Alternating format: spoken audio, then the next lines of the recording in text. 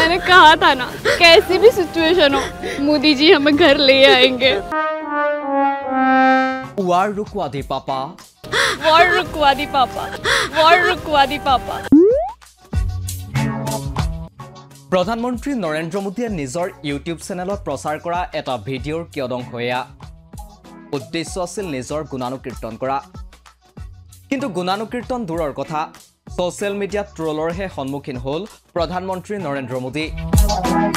पापा ने वॉर रुकवा दी और रुकवा दी पापा মিম পেজত এতিয়া এই মুখখন সুলভ হৈ পৰিল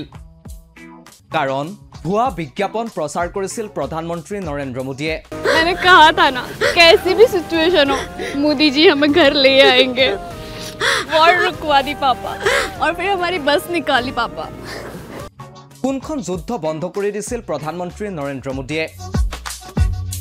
এই প্ৰশ্নবোৰ যেতিয়া উত্থাপন হ'ল তেতিয়া ওলাই পৰিল বিজেপি তথা প্ৰধানমন্ত্ৰী নৰেন্দ্ৰ মোদীৰ ভুৱা প্ৰচাৰৰ গুমৰ ফাঁক। যাৰ বাবে এতিয়া সাধাৰণ জনতাই প্ৰশ্ন কৰিছে পাপাই যুদ্ধ বন্ধ কৰি দিলে সেই পাপাই আমাক চাকৰি নিদিয়ে কিয়? পাপাই যুদ্ধ বন্ধ কৰি দিলে কিন্তু পাপাই মণিপুৰত হৈ থকা হিংসা কিয় বন্ধ নকৰে? লাডাখৰ সমস্যা কিয় সমাধান নকৰে पापा ने वॉर रुकवा दी पापा मणिपुर के दंगे क्यों नहीं रुकवाते पापा ये लद्दाख के दंगे क्यों नहीं रुकवाते इक्कीस दिन से बंदा वहाँ पे स्ट्राइक करके बैठा है वहाँ पर क्यों नहीं देखते মহিলাৰ বিৰুদ্ধে হৈ থকা অত্যাচাৰ বন্ধ কৰিব পৰা নাই নিবনুৱা সমস্যা সমাধান কৰিব পৰা নাই খাদ্যৰ অভাৱত শিশুৰ মৃত্যু হোৱা বন্ধ কৰিব পৰা নাই কিন্তু পাপাই যুদ্ধ বন্ধ কৰি দিলে आज पे खुली छोड़ी, इनकी खुद की अंधे गधों की फौज की बदतमीजी नहीं रोकी जा रही इनसे, लेकिन वॉर रुकवा दी पापा। काला धन वापस लाना तो दूर इलेक्टोरल बॉन्ड्स द्वारा खुद को लेने से नहीं रोक पा रहे लेकिन वॉर रुकवा दी पापा। औरतों के खिलाफ हो रहे जुर्म नहीं रोक पा रहे हैं, बेरोजगारी नहीं रोक पा रहे हैं, भूखमरी से मरते बच्चों को नहीं रोक पा रहे हैं, महँगाई को नहीं रोक पा रहे हैं, अपने खुद के देश की। अपने खुद स्वयं के देश की लेकिन दूसरे के देश की वॉर रुकवा दी पापा व्हाट इवन मैन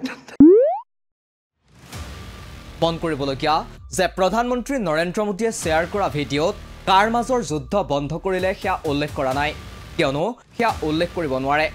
কাৰণ বাস্তৱত তেনেকুৱা একো হোৱাই নাছিল আন্তঃৰাষ্ট্ৰীয় পৰ্যায়ত তেনে মিছা কথা ক'লে নিজেই গৰ্হিত হ'ব বুলি অনুমান কৰিয়েই হয়তো দেশৰ জনতাকেই মিছা কথাৰে কাণঘোলা কৰিবলৈ কৌশলেৰে মেলি দিলে প্ৰপাগাণ্ডাৰ জুলুঙা। অৱশ্যে এই প্ৰপাগাণ্ডা নিৰ্বাচনৰ পূৰ্বে ব্যৱহাৰ কৰিব বুলি হয়তো বিজেপিৰ আগৰে পৰাই পৰিকল্পনা আছিল। কিয়নো বিজেপি নেতাই ইয়াৰ পূৰ্বেও ৰাজহুৱাকৈ উল্লেখ কৰি থৈছে যে প্ৰধানমন্ত্ৰী নৰেন্দ্ৰ মোদীয়ে ভাৰতীয় ছাত্ৰ ছাত্ৰীক ইউক্ৰেইনৰ পৰা উদ্ধাৰ কৰিবলৈ যুদ্ধ বন্ধ কৰি দিলে।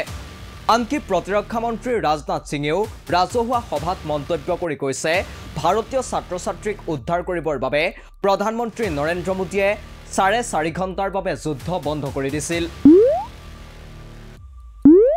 গৃহমন্ত্ৰী অমিত শ্বাহ আৰু এখোপচৰা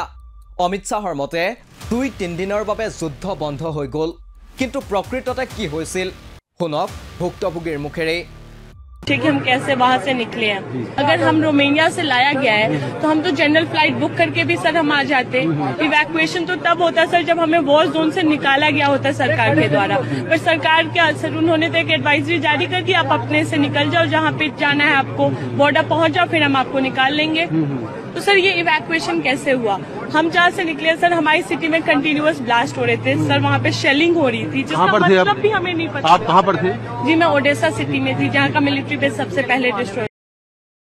Indian government is doing nothing for us. They are saying they are evacuating the Indian citizens from border. The border is 800 kilometers from our current location. How are we as a student supposed to reach those borders? आप जितने भी parents हैं, जितने भी लोग हैं India के हम लोगों को सुन रहे हैं, हम लोगों को देख रहे हैं, आप प्लीज़ इंडिया मीडिया की न्यूज़ खबरों को मत बिलीव कीजिए कि वो लोग हमें यहाँ पे मदद दे रहे हैं। इंडियन गवर्नमेंट हमारी कोई मदद नहीं कर रही है। आप लोग प्रोटेस्ट करना चालू करिए इंडिया पे प्रेशर डालिए गवर्नमेंट पे, तभी हम 20 से तीस हज़ार बच्चे जितने भी यहाँ पे स्टक हैं Indian medicine students sorry foreign medicine students वो निकल पाएँगे। थैंक यू जय এনেকৈ নিৰ্বাচনৰ পূৰ্বে জনতাৰ সন্মুখত এখন ডাঙৰ ক'লা কাপোৰ আঁৰি লুকুৱাই ৰখা হৈছে প্ৰকৃত সত্য। কিন্তু তাৰ পৰিৱৰ্তে জাক জমকেৰে দেখুওৱা হৈছে নিৰ্লজ্জ মিছা কথা।